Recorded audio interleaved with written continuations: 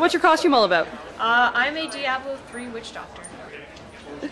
Uh, he's pretty much like a sorcery character, lots of summons, stuff like that.